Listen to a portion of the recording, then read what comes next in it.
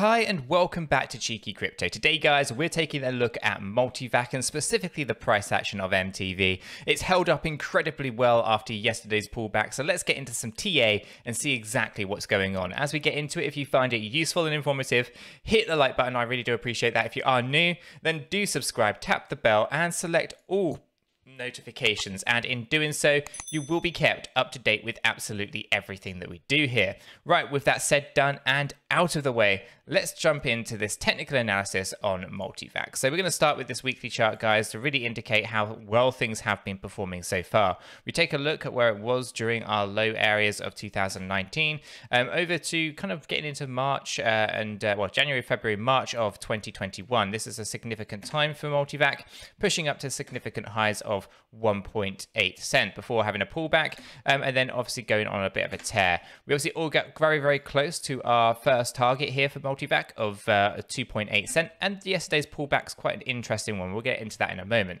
Um, to move up to about 9.2 cent, which is one of the Fibonacci retracement tools um, extension levels of 4.236 is about 469%.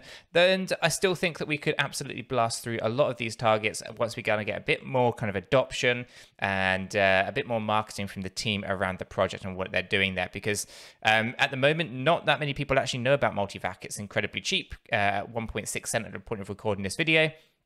And uh, it wouldn't surprise me if it can go to 30 cent very, very quickly. It's got a low supply. Um, and as a result, it wouldn't take a lot of money to move that needle with so much of it already delegated in state. So a lot of it's out of circulation. Um, so again, I think this is a really important project that many people can, uh, can definitely see significant gains on. So do some research on it, guys. I'm not a financial advisor if, is, if you're new to the channel. Um, do research, get into it, figure out what's going on. Um, like I said, I'm not a financial advisor, nor is Chris, uh, but we do talk about projects that we like and that we're invested in. Multivac is a very interesting project um, and it's well worth kind of doing research on it. So if you're new, check it out. Um, let's actually take a look at what's going on though from this structure. We could obviously see good motion to the upside, coming back down and finding support on our 786. This is another key thing that's working really well for us. So although yesterday was very um, unusual in the way of everything that happened, um, basically with Bitcoin having its pullback, um, pretty much in line with what happened with XRP on the 1st of February, everyone was supposed to buy $30 worth of Bitcoin, um, and instead you had a few bad actors dropping on the market when the market in fact was supposed to go to the moon. Um, so obviously you know, those things they, they never work out. And um, this is two examples in a very short space of time where uh, unfortunately people have been caught out by it. So that being said um, that happened with bitcoin on the same day that el salvador made it legal tender.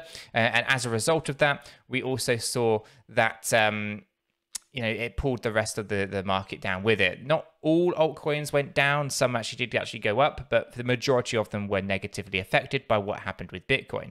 But there is some good news that comes with it. Um, and as we jump down into our daily view, we're going to talk about what that is. Um, so, although it is very frustrating to see that happen, these natural corrections are absolutely vital. And what we've seen yesterday here was a good surge to the upside, going up into the overbought area as we are bringing up to these all high, uh, almost all-time highs as we were going after our uh, 1.618 area uh, on the Fibonacci. Now, instead, what we saw is basically the next three days kind of a pullback.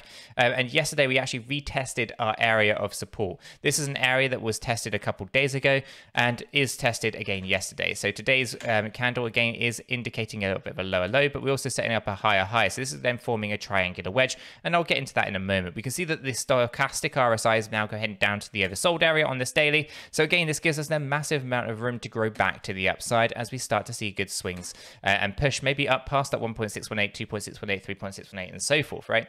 Until eventually we get to that 4.236 extension and maybe blast straight past that in the same way that Solana has, right? Solana has basically done a 4.2 236 extension and um, from the wave 3 high and the wave 4 low um, and basically is now indicating interesting areas and interesting price predictions. So check that video out if you're into Solana as well. Um, so here this is actually perfectly good. This actually looks pretty well for, for MTV. Holding this area is key, and, and, we should basically be able to start back up to the upside. We can also see that the previous high area is also our resistance line here. Um, so that's the high of this third wave over this side. Um, so although we have a good support line, we also have a good resistance line. Uh, and again, things are lining up for that nicely. Um, overall, let's actually just pull this down into our hourly chart, and then we start to see a bit more of that structure and how it's changing. Um, so overall, we can see that we're oversold here. Um, and what we can do, of course, is see where did we actually start to see this kind of pullback occur. Well, this was happening yesterday, and it would have actually happened at about here. And if we actually draw this on with a Fibonacci, we can see that we actually went above our um, 786, but we were unable to hold it for too long on this hourly. So we did see a pullback coming back down. But what's interesting here is we are in an oversold status in the same way that we were oversold during this point. Um, and actually we're in a bit of a, a, a, low, a higher low area here. And um, so if that does continue when we start to now move back up to the upside, we're going to get this interesting triangular wedge appear. Um, and again, this could be absolutely explosive for multivac. So we can see that there is this downward trend. And we can also see, uh, although we need a little bit more data, um, so we'll get this shortly, is there is this um, this upward trend that is appearing here as well. Okay, so um, overall, what you end up with is this triangular wedge that appears and we'll look for a bit of a break to the upside or a break to the downside. We look at where we are technically and within the structure, what is more probable. Um, so for me, it will look like we'll test this area, we'll pull back, we'll probably test this area, and then we'll have that break to the upside there. Um, and this is because we're not in a bear market, we're not in a correction wave. Instead, we're in wave five with corrections inside it.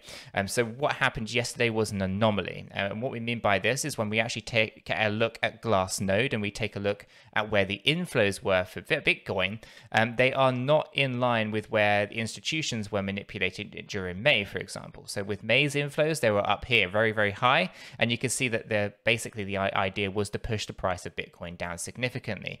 Instead, what you saw was basically a few bad actors, a couple of whales maybe, um, that were basically, you know, the ringleaders in that whole buy $30 worth of Bitcoin scenario. Um, so therefore, the inflows weren't very high. In fact, this is more in line with just traders and uh, pretty standard, in fact, um, because we haven't uh, seen this kind of level broken for a while. It's pretty standard, nothing to worry about. We also check out where things were during the March crash of 2020. That was significantly higher than even it was in May. So we know that the inflows aren't quite where they need to be. But what about a bear market? Well, we take a look at a bear market, right? Bearing in mind that we're all the way down here um, during 18. Let me just expand that back up.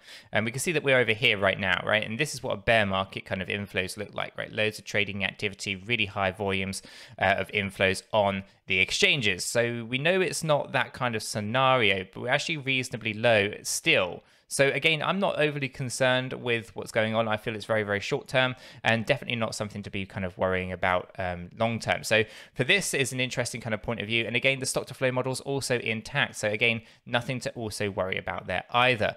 Um, so overall for MTV, I'm am looking at the structure. I'm looking at what we're looking at in terms of technical data within the charts, but we also have a look at those out external factors, right? What else is going on in the space? And I think we are more likely going to have that break to the upside than the downside. Um, uh, this was an anomaly, a short um, kind of event that happened just for Bitcoin, but because Bitcoin leads the pack, it unfortunately has a knock-on effect. Most of these altcoins have already recovered very, very well, and I think that MTV is going to be the same. If we ever in doubt though, we do zoom out and we take a look at the bigger structure and where things are heading. We can also take a look, we are you know approximately 460% away from that 9.2 cent area. And we'll take a look at where this correction was, right? So we had a 32% correction. Uh, again, this is uh, not unusual. We'll take a look at where things were during the kind of push to the upside that we've seen previously. Uh, and again, we'll just take this candle over here uh, and we can see that this was also a 42% move, right, before we actually went to these high areas here. Um, so again, these are natural corrections. They happen all the time. Uh, and again, I'm not overly concerned with this one. Again, Multivac is performing very, very well. I think it's going to continue to perform well as we look to peak out some of these areas. I think worst case scenario should be about 7.2 cent, uh, a medium scenario 9.2 cent, and under some actual good circumstances, good marketing, uh, we could potentially see multivac explode um, much, much higher. Not a lot of money to move the needle. We just need to get the word out there. Um, so 30 cent in my mind should be something that we should also be aspiring to. Guys, if you have found this brief update on MTV useful and informative, hit the like button. I really do appreciate that. If you are new to the channel, then do subscribe, tap the bell, select all notifications, and in doing so, you will be kept up to date with absolutely everything that we do here. With this said, done, and out of the way, I hope everyone has a fantastic day and I'll catch you all in the next one.